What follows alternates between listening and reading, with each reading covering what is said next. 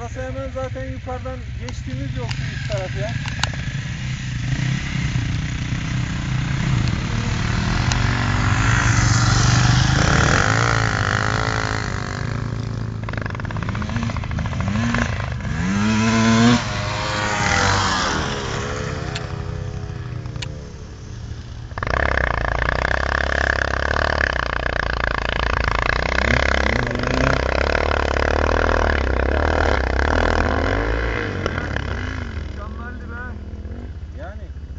Yarı yarıya ağırlıkları fark ediyor.